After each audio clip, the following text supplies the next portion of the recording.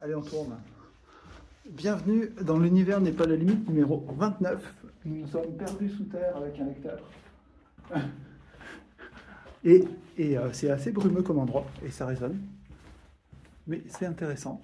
Comme vous pouvez voir, il, il semble y avoir un torrent sur le, sur le sol. Et il fait frais. On a trouvé de la fraîcheur ici. Bon, si vous pensez que je vais vous montrer où c'est, eh ben non, je ne vais pas vous montrer où c'est. Regardez ce joli visage, le sourire. Merci de me lire.